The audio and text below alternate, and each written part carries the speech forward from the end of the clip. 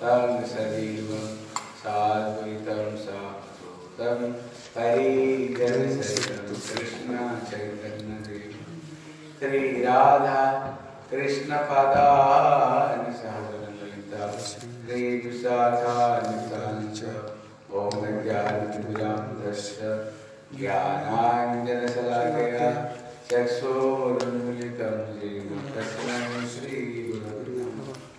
नमः गुरुदेवाय धीमते समूर्तये श्री श्रीमद्भक्ति श्रीरूप सिद्धान्ति प्रभवे श्रीमहात्मने। नमः विष्णुपादाय राधिकाय प्रियात्मने। श्री श्रीमद्भक्ति वेदांत नारायण नाम्ने नमः विष्णुपादाय आचार्य सिंहरुपिणे।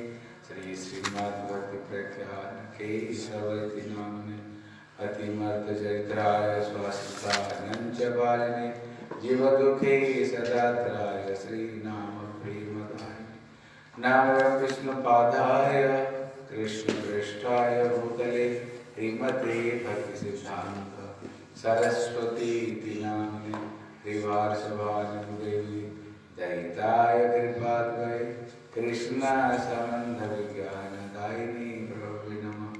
माधुर्यजलप्रेमाढ्य श्रीरूपानुगभक्तिद श्रीगौरकरुणाशक्ति विग्रहाय नमस्तुते नमस्ते गौरवाणी।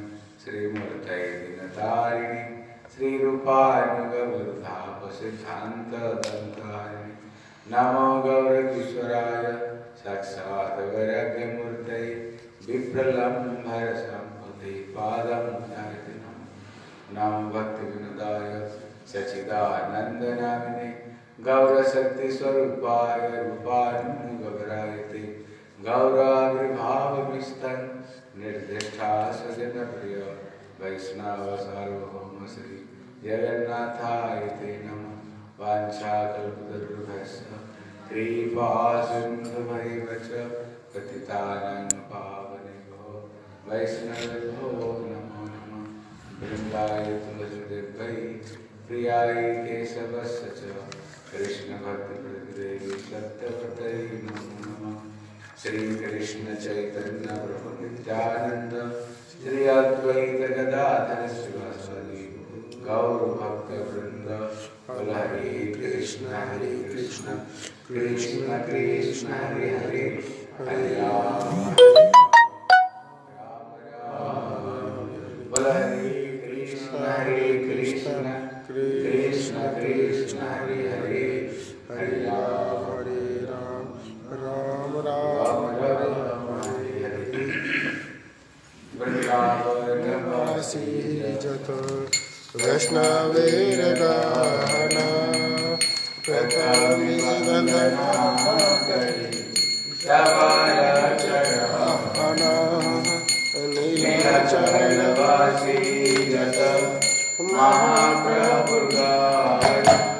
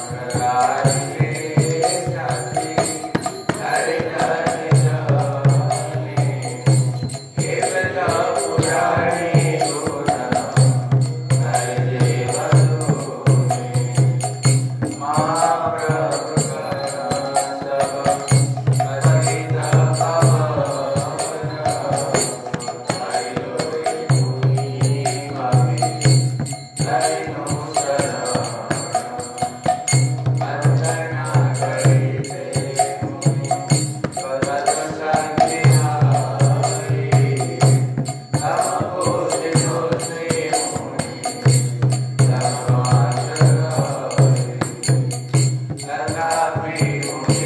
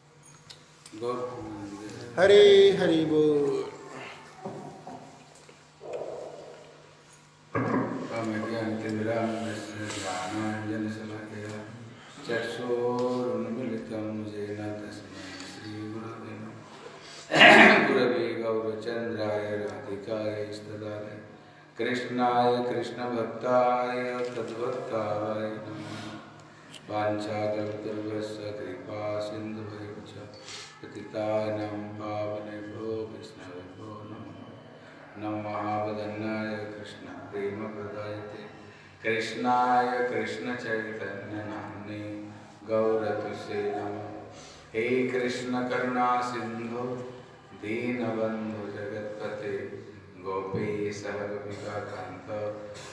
राधाकांत नमस्तुते। तप्त कांचन गौरांगी राधे वृंदावनेश्वरी वृषभानुसुते देवी हरिप्रिये वृंदाई तुलसी दत्तई प्रियाई केशवस्य च कृष्ण भक्ति प्रद देवी सत्यवतई नमो नमः। श्री कृष्ण चैतन्य प्रभु नित्यानंद श्री अद्वैत गदाधर शिवसदि गौर भक्त वृंद बोल हरे कृष्ण हरे कृष्ण कृष्ण कृष्ण, हरे हरे हरे राम हरे राम। राम राम। सर्वप्रथम मेरे गुरुदेव नितिलीला प्रवेश भक्ति स्वरूप सिद्धांत गोस्वामी महाराज के चरण कमल में अनंत कोटि साष्टांग दंडवत प्रणाम करता हूँ। तत्पश्चात मेरे शिक्षा गुरुदेव नितिलीला प्रवेश भक्ति वेदांत नारायण गोस्वामी महाराज के चरण सरोज में श्रद्धा, पुष्पांजलि अर्पण करता हूँ। उपस्थित वैष्णव, वैष्णवी, माता पिता भाई बहन सभी को मैं यथा योग्य प्रणाम करता हूँ। हम लोग गतकल्य श्रवण कर रहे थे। श्री विश्वनाथ चक्र ठाकुर कहते हैं, जो व्यक्ति भगवान की भक्ति को आश्रय ग्रहण करता है, पहले ही, पहले उनने जितने गंधा काम क्यों नहीं किया। जितने गंधा काम क्यों नहीं किया। लेकिन अगर प्रभु का भक्ति को अगर वो जाजन करता है, बाद में उसको कोई गंदे चीज़ को कोई नहीं देखता और नहीं बोलते, पहले इतना गंदा काम जैसे जगाई माता है जैसे श्री, हैं? अजामिल जैसे बिल्वा मंगल, हैं? ये लोग पहले चरित्र भ्रष्ट थे। लेकिन भगवान की जब भक्ति करना शुरू कर दिया, भगवान की जब भजन करना शुरू कर दिया, अभी सारा दुनिया वाल्मीकि पहले डाकू था। अभी कोई कहता है डाकू? अजामिल पहले डाकू था, कोई कहता है डाकू? बिल्लो मंगल पहले स्त्री लंपट था अभी कोई नहीं कहते स्त्री लंपट था अभी कहते बाबारी इतने बड़े भगत था। इतने बड़े भगत था। इसलिए भगवान की भक्ति में आप किसी अवस्था में भी भगवान की अगर भक्ति करोगे, ये भक्ति आपको सर्वश्रेष्ठ बना देगा। भक्ति आपको सर्वश्रेष्ठ बना देगा। लेकिन अगर कोई ज्ञान मार्ग का अगर अवलंबन करे जगत में उनका बड़ा नेता होता है, जगत में बड़ा नेता होता है लेकिन भक्तों का जगत में बड़ा प्रशंसा होता है। इसलिए कृष्ण गीता में कहते हैं, अभिचेत सुदराचारो भजते मांग अनन्य भात, साधुरेव समंत ऐसा। कृष्ण कहते हैं, अर्जुन, अत्यंत अत्यंत वो दुराचारी व्यक्ति क्यों नहीं हो? अगर भजन ते मांग अनन्य भाग, अगर अनन्य रूप में अगर मेरी भजन करता है, वो साधु है। वो साधु उसको माननी चाहिए। इसलिए कहते क्षिप्रम भगवती धर्मात्मा, सस्वच्छन्ति निगच्छन्ति कौनते प्रतिजानी, न में भक्ता परिषति कृष्ण कहते हैं, अर्जुन, अगर उसके अंदर में कुछ बुराई होगा तो वो जब मेरा भजन करना शुरू करता है ना, बोले क्षिप्रम भगवती धर्मात्मा वो बड़ी जल्दी जल्दी धर्मात्मा बन जाते हैं? जल्दी जल्दी धर्मात्मा बन जाते हैं। क्यों? मेरी जो भक्ति है, भक्ति में इतने शक्ति, जैसे एक आग को अंदर में कुछ भी डाल दो, उसको जला करके राख बना देता है। अगर मेरी भक्ति जो करेगा, वो जितने बड़े दुष्ट क्यों नहीं हो, मेरी भक्ति उसको सर्वश्रेष्ठ बना देता है। अगर मेरी भक्ति को कोई छोड़ करके अगर दूसरे मार्ग पर जाए ज्ञान कर्म योग बाद में उनकी बड़ी निंदा होती है बड़ी इनकी निंदा होती है। इसलिए भगवान कहते मेरे भक्त सर्वश्रेष्ठ है। इसलिए उनका एक नाम श्री भक्त वत्सल भगवान। बोले श्री भक्त वत्सल भगवान जय। हाँ यहाँ पर बता रही हैं। लेकिन किसी किसी शास्त्र में भक्ति से ज्ञान को बड़ा कहीं बताया कहीं कहीं भक्ति को भी ज्ञान को सर्वश्रेष्ठ बताया। भक्ति से ज्ञान श्रेष्ठ है? कहते नहीं। भक्ति से कभी ज्ञान श्रेष्ठ हो ही नहीं सकता है। हर समय भक्ति का ही सर्वश्रेष्ठत्व, है? अगर भक्ति से अगर ज्ञान श्रेष्ठ होता, पहले स्वयं शंकर शिव कहते पहले ये ब्रह्मवादी थे। श्री जनक महाराज, ये पहले ब्रह्मवादी थे। वो भगवान को निराकार निराकार मानते थे। लेकिन जब भगवान राम, जब अजो, जब जनकपुरी में आते हैं, जनक महाराज जब प्रभु राम को एक बार दर्शन किया, कहते कि नहीं पिलो कत अति हर सीता, हर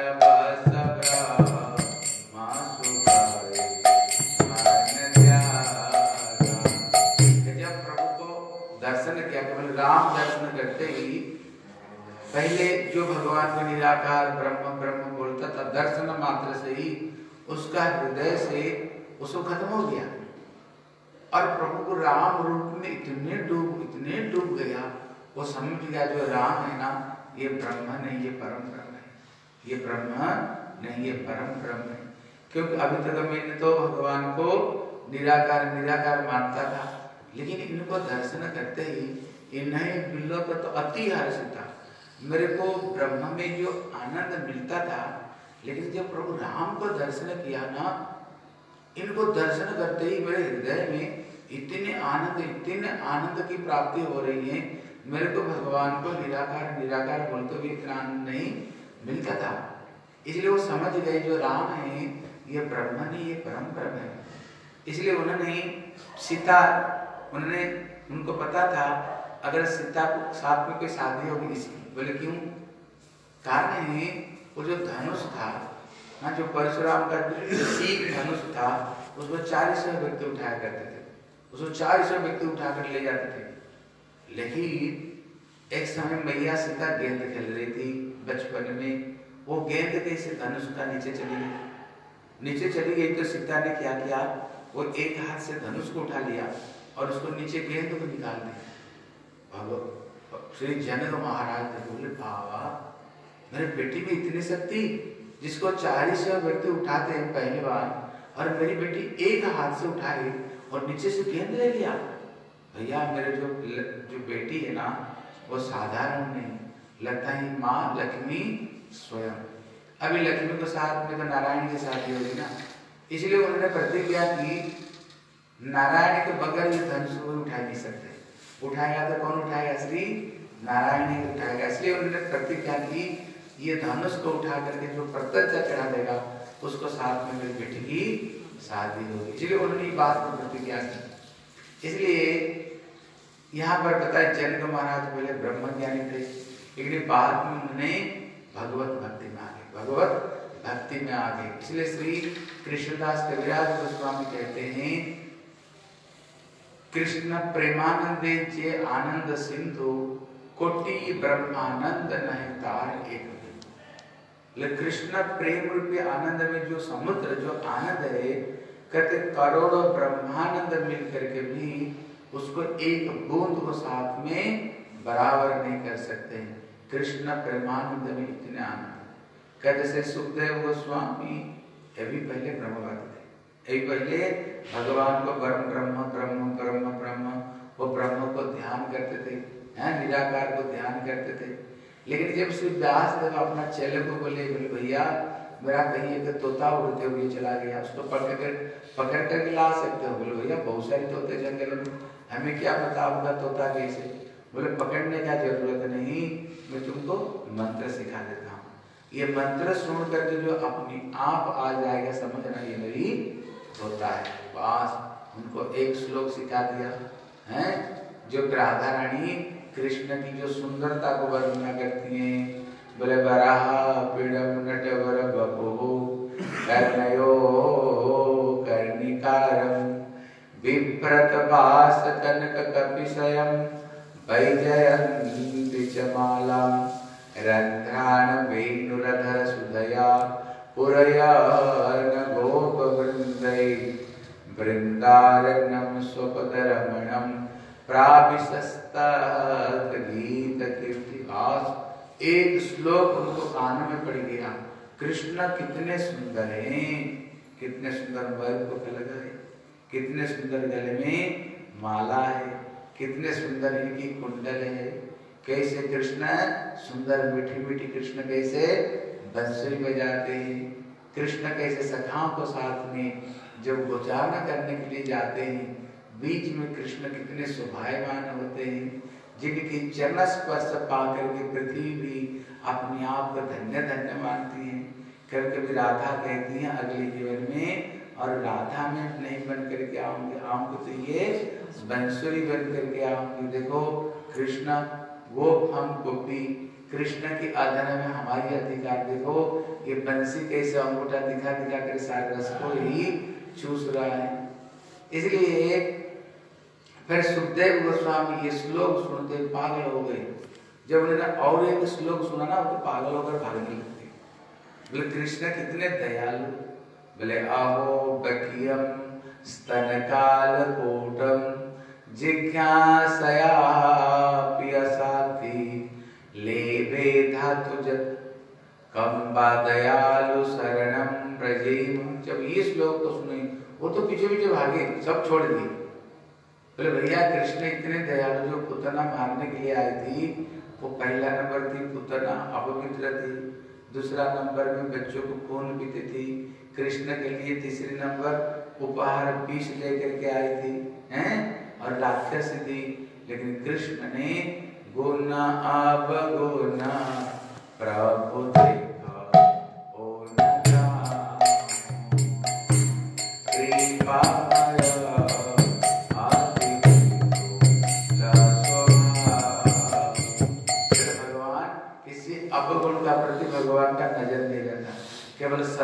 प्रभु का नज़र रहता है इसलिए सुखदेव गोस्वामी पहले ब्रह्म ज्ञानी थे परिनिष्ठित निर्गुण उत्तम श्लोक लीलया एक होता है ज्ञान एक होता है हाँ विज्ञान वो साधारण नहीं बोले परिनिष्ठित अपी वो ब्रह्म में डूबे हुए थे पूरा के पूरा, है? वो ब्रह्म में वो डूबे हुए थे, लेकिन जब उन्होंने कृष्ण की सुंदरता, कृष्ण की दयालुता सुने सब छोड़ करके पास आ गए।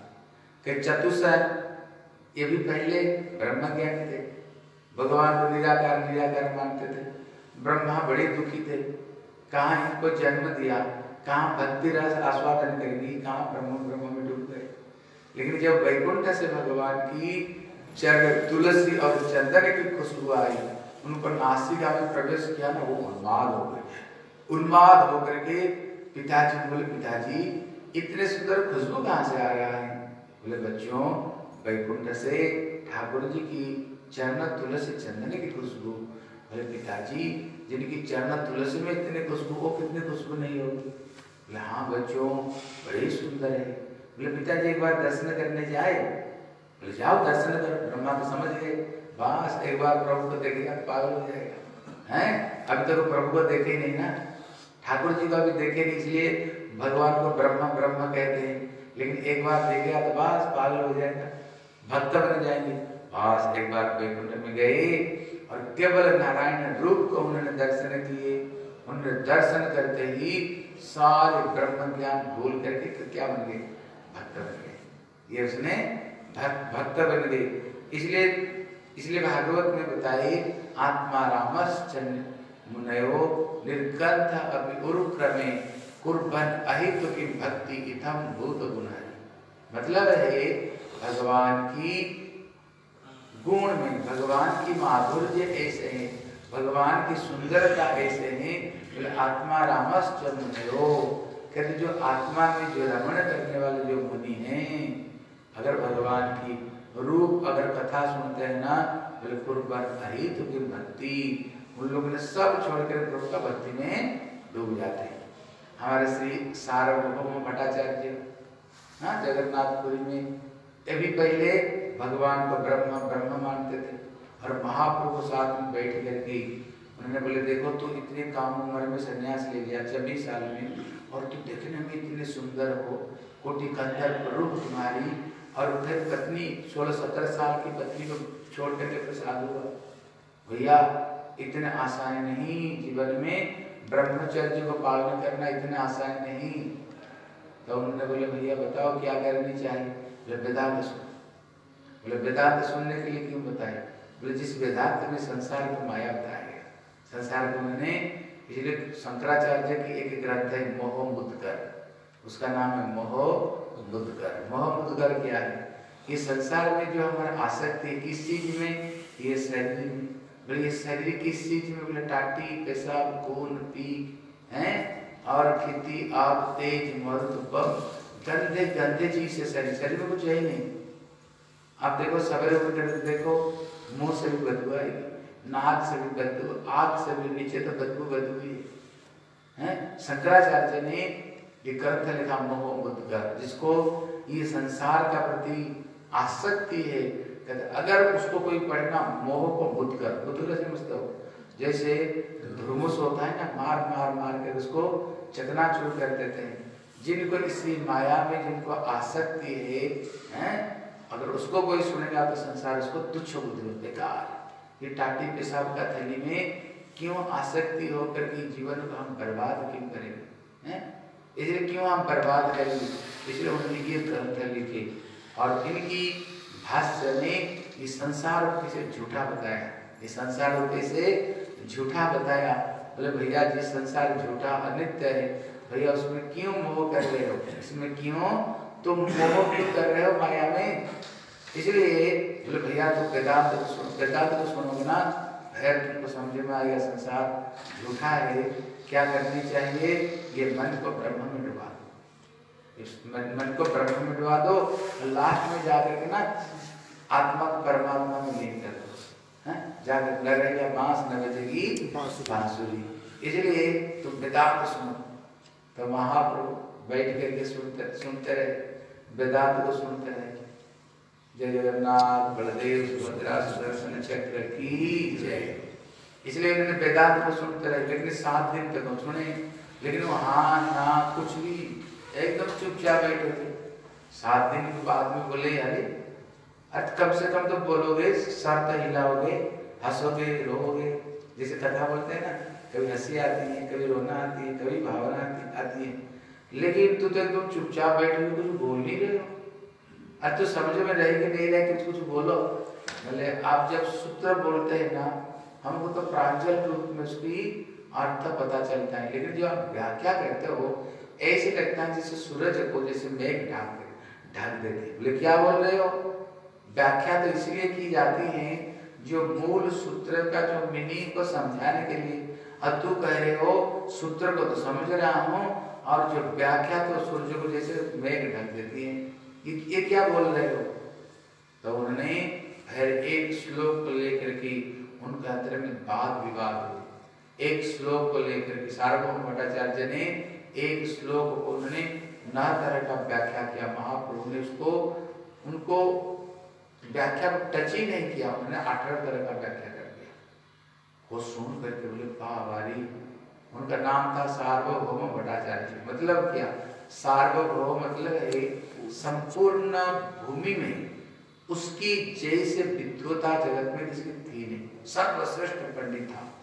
बड़े बड़े शंकर पंथी जो सन्यासियों को उन्होंने बड़े बड़े सन्यास को सन्यास देता था हमको। हमको सन्यास प्रदान करता वो को, कौन थे पूर्व जन्म में ये बृहस्पति? कौन थे?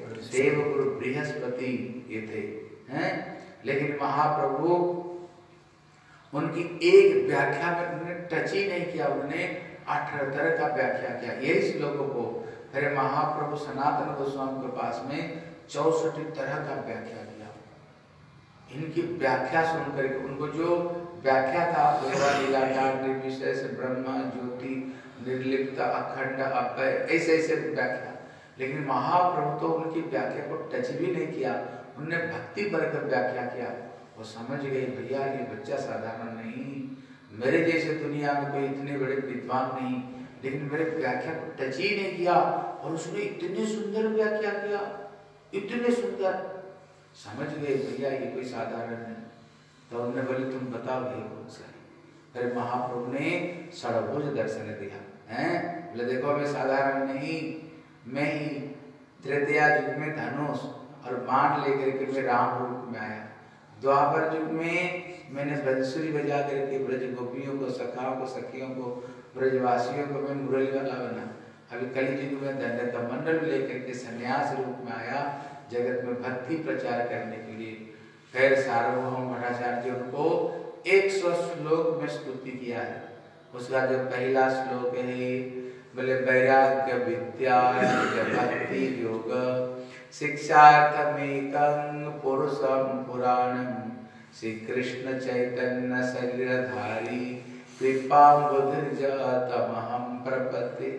बोले, महाप्रभु कौन है? बोले वैराग्य विद्या निज भक्ति योग जगत में अपना भक्ति योग को वैराग्य विद्या मतलब दो तरह का वैराग्य है। ये संसार की तुच्छता और वैराग्य मतलब विशेष पूर्वक प्रभु के चरण में अनुराग। ठाकुर जी के चरण में प्रेम, अनुराग है। इसलिए कैसे भगवान को भक्ति, प्रेम कैसे करें, हैं? कैसे प्रभु की भक्ति करें? और जगत का वैराग्य विद्या को शिक्षा देने के लिए कृष्ण स्वयं कलियुग में से ही चैतन्य महाप्रभु का रूप में आए। ऐसे जो चैतन्य महाप्रभु हम सब के सब उनके चरण में शरण लेते उन्होंने सौ श्लोक में स्तुति किया। इसलिए यहाँ दिखाई पड़ता है कोई कोई कहते नहीं, भक्ति से ज्ञान श्रेष्ठ है। कहते भैया, भक्ति से अगर ज्ञान श्रेष्ठ हुआ तो इतने बड़े बड़े ज्ञानी, इतने बड़े बड़े ब्रह्मवादी हाँ एक एक मधुसूदन के सरस्वती हुई। उनकी जैसे तार्किक न्यायिक उनकी जैसे उस ब्रह्मवाद जगत में कोई नहीं था। लेकिन उन्होंने कहते हैं हाँ बद्ध गोप बिटे न श्लोक याद हाँ? श्लोक में बताए, अद्वैत विधि प्रतीक रूपास्य स्वराज सिंहासन लब्ध काम सठ हटेन, दासी कृता बद्ध गोप बिटे वो कहते हैं बोले भैया, पहले में अपना क्या समझता ब्रह्म ब्रह्म? अहम ब्रह्मास्मि में वही ब्रह्म। सर्वम खलु इदम ब्रह्म जगत में, सभी ब्रह्म है तत्वमसी तुम वही हो, हैं? इसलिए पहले मैं अपना को ब्रह्म ब्रह्म समझता था, और स्वराज्य लब्ध काम। पहले मैं बड़े उच्च सिंहासन में बैठ करके अपने आप को ब्रह्म ब्रह्म ब्रह्म करता। लेकिन जब से मैंने वो गोप बधु बेटे ना हाँ? वो जो मक्खन चोर है, जो गोपियों के प्रेम में जो पागल है, हैं? जब उनकी मैंने कथा सुनी है ना मेरा मन तो अपने आप ब्रह्म को छोड़ दिया।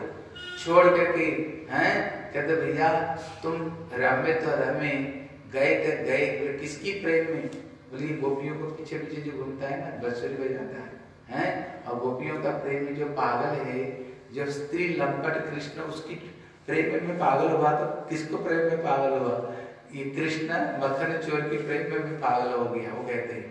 इसलिए दिखाई पड़ता है जो पहले ब्रह्म ब्रह्म कहते थे, भगवान को निराकार निराकार कहते थे ज्ञान मार्ग में, लेकिन दिखाई पड़ता है जब कृष्ण की भक्ति की कथा सुनी तो सब के सब छोड़ करके भगवत भक्ति में आए। इसलिए यहाँ पर स्थापना करते हैं, भक्ति ही सर्वोपरि है। जैसे भगवान स्वतंत्र, उनकी भक्ति भी स्वतंत्र है। और भक्ति ही भगवान के पास में भक्ति रे वह भक्ति वह दर्शयती। भक्ति ही भगवान तक पहुंचाता है। भक्ति ही भगवत दर्शन कराता है। और जगत में भक्ति की ही महिमा है। इसलिए भक्ति देवी स्वतंत्रता है। इस भक्ति देवी भगवान की स्वरूप शक्ति है। जैसे कृष्ण स्वतंत्र, उनकी भक्ति भी स्वतंत्रता, उनकी भक्ति भी स्वतंत्रता है। इसलिए अगर भगवत प्राप्ति होगा तो कैसे बोले भक्ति को द्वारा ही भगवत प्राप्ति हो सकती है ज्ञान कर्म और योग से भगवत प्राप्ति नहीं भक्ति ही भगवान तक भक्ति ही पहुंचाएगा इसलिए हमें किसकी शरण में जानी चाहिए? यहाँ पर स्थापना करते हैं भगवान की भक्ति करनी चाहिए। हमें ज्ञान, कर्म मार्ग में नहीं जा करके भक्ति की सर्वश्रेष्ठता, भक्ति की गरियसी, भक्ति की महिमा, इसलिए भक्ति ही सर्वश्रेष्ठ है। इसलिए बोले सबसे ऊँची प्रेम सगाई सबसे ऊँची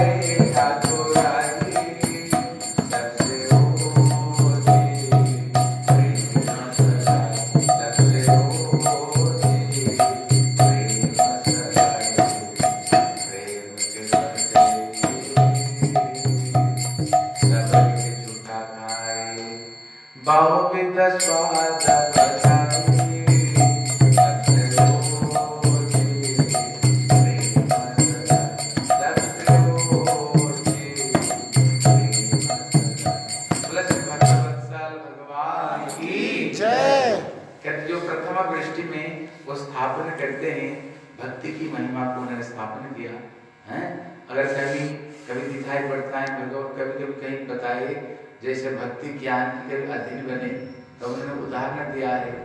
भक्ति कभी ज्ञान के अधीन का कहीं वर्णना करते हैं, उसको उदाहरण देते हैं, जैसे भगवान वामन देव है। उन्होंने इंद्र की छोटे भाई बन करके आए। इसलिए उनका नाम उपेंद्र, इंद्र के छोटे भाई ही उपेंद्र, उनके छोटे भाई बन करके आए। इसका मतलब ये नहीं, कृष्ण जैसे सुदामा जी की कृष्ण चरण हुए इसका ये मतलब ये नहीं, सुदामा हो गए, बड़े कृष्ण हो गए, छोटे। भगवान उनके छोटे भाई बनकर आए मतलब ये नहीं भगवान छोटे हो गए। नहीं इसमें उनकी भक्त वात्सल्यता दिखाई पड़ता है। इसलिए कहीं कहीं जब- वर्णना आती है हैं, जो भक्ति ज्ञान की कहीं अधीनता स्वीकार किया इसका मतलब ये नहीं भक्ति ज्ञान की अधीनता नहीं।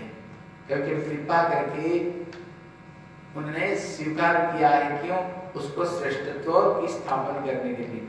इसका मतलब नहीं भक्ति छोटी और ज्ञान बड़ी गई। ज्ञान बड़ी होगी इसका मतलब ये नहीं। इसलिए हमें भगवान भक्ति को ही आश्रय करते हुए भक्ति करनी चाहिए। कहते विश्वनाथ चक्रवर्ती ठाकुर प्रथमा दृष्टि में ये चीज़ को स्थापना करते हैं, हमें भक्ति छोड़ करके और किसी रास्ता में नहीं जानी चाहिए। ज्ञान में नहीं, कर्म में नहीं योग में नहीं। इसलिए श्री सनातन गोस्वामी को महाप्रभु ने जो शिक्षा प्रदान की, जिसको सनातन शिक्षा कहते हैं, बोले, एक समय ध्यान देकर सुनो। बोले एक समय कोई एक बड़ा दुखी व्यक्ति दर दर भटक रहा था। खाने पीने के लिए नहीं, वस्त्र नहीं, फटे फुटे दर दर भटक रहा था। एक समय कोई एक सर्वज्ञ, कोई एक है, सर्वज्ञ। सर्वज्ञ मतलब जो आपकी फेस को देख करके सारी बात बता दे। तुम्हारे घर कहाँ पर तुम्हारे परिवार कैसे, बेटा कैसे, बेटी कैसे, घर में तुम्हारे कितने माल पानी है, वो माल कहाँ रखा हुआ? आपको फेस को देख कर से बता दे कितने घर में तुम्हारे माल रखा हुआ है और अमुक जगह पर तुम्हारी माल है। जो देख करके सारी बात को बता दे। एक समय वो सर्वज्ञ ने एक दुखी दरिद्र को देखा बोले बोले इधर आओ। बोले क्या बात है? तो दर दर क्यों भटक रहे हो? बोले बड़े दुखी। बोले बेटा जो माल है ना तेरे घर में गड़ा हुआ है। घर में गड़ा हुआ है। हमारे घर में चार दिशाएँ पूर्व पश्चिम उत्तर दक्षिण। लेकिन जो माल है ना, वो पूर्व दिशा में सोने के कलश में गड़ा हुआ है। लेकिन देख, सावधान, उत्तर दिशा का मिट्टी मत खोदना। खोदोगे तो एक अजगर निकलेगा। और दक्षिण दिशा का मिट्टी नहीं खोदना, वहाँ ततैया निकलेगा। पश्चिम दिशा का मिट्टी नहीं खोदना, वहाँ पर अजगर सांप निकलेगा। लेकिन खोदना पूर्व दिशा है। ज़्यादा खोदने का पिताजी इतने संपत्ति रख करके हमें पता ही नहीं। हम दर दर भटक रहे हैं। वो भैया सचमुच से थोड़ी सी पूर्व दिशा का मिट्टी हटाया बस। माल की झाड़ी निकले। हैं? माल की झाड़ी निकला वहाँ से। और एक एक हीरे जवाहरात को बेचा तो अरब खरब रुपया। पास माला माल हो गया। तो देखकर इसका मतलब क्या है? बोले मतलब है, बोले, खबरदार, तुम पश्चिम दिशा में मत जाना, उसको ततिया रहते हैं। हैं? अगर वो ततिया निकलेंगे ना, काट करके खा जाएँगे, खत्म कर देंगे। बोले मतलब बोले, कर्म मार्ग में मत जाना। कर्म मार्ग में जाओगे तो दुखी दुखी बनोगे, हैं? दुखी दुखी बनोगे। कभी तन से दुखी, कभी मन से दुखी, कभी धन से दुखी, कभी बहू से दुखी, कभी बेटे से दुखी, कभी सास से दुखी, कभी नाना से दुखी, कभी पड़ोसी से दुखी, कभी मन से दुखी। फिर दुखी दुखी दुखी दुखी बनेंगे। इसलिए उधर नहीं जाना। और तुम उत्तर दिशा में मत जाना। बोले, क्यों? बोले, उधर है अजगर सांप है। अगर वो निकलेगा ना तो ज्ञान मार्ग में मत जाना। उधर अजगर सर्प जैसे निगल लेता है, उसी तरह जो मुक्ति है तुमको निगल जाएगा।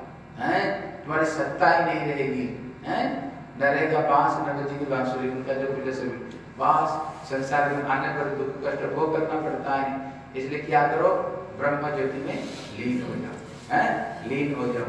लेकिन एक उदाहरण दिया जैसे कि चिट्टी गुड़ खाने के लिए गया। लेकिन वो गुड़ को कब आस्वादन करेगा? जब उससे अलग रहेगा। अगर गुड़ खाने के लिए गया अगर गुड़ में ही लपट गया अगर कट तो गया।